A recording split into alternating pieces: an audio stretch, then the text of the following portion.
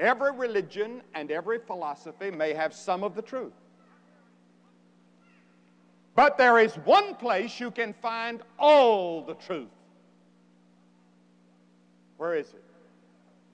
Jesus said, Everyone that is of the truth heareth my voice.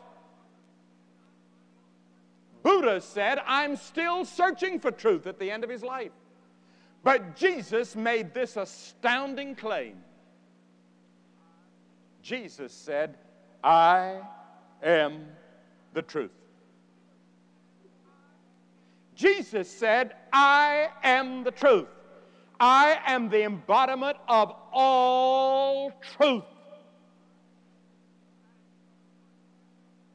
And if you're going to get to heaven, you've got to believe that. And you've got to take it by faith.